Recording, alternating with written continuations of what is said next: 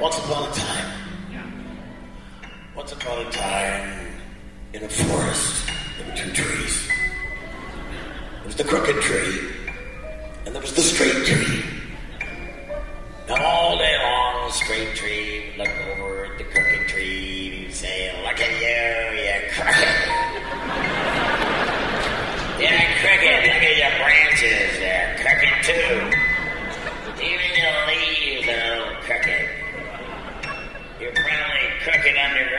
As well. But look at me. I'm tall. I'm straight. But you're crooked. so one day, the lumberjacks came into the forest.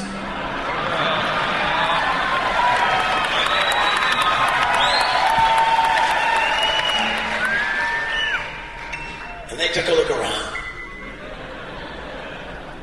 One of them said, Bob, cut all the straight trees.